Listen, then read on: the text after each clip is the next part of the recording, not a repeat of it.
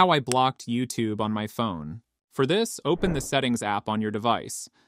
Then, scroll down and tap on Digital Wellbeing and Parental Controls.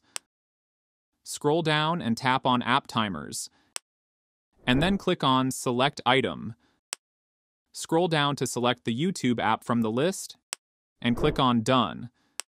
Then click on Add Schedule. Set the timer for zero minutes so the YouTube app can't be used at all. Now, if you try to open YouTube, you'll see a message. App timer ran out. However, this timer can still be changed manually, unless you secure it with a PIN. Go back to Digital Wellbeing and Parental Controls. Here, at the top right corner, tap on three dots. Then, click on Settings. Toggle on the switch next to the set pin. Enter a four-digit PIN and tap Continue. Again, re-enter the PIN to confirm. Choose a security question for PIN recovery and set it.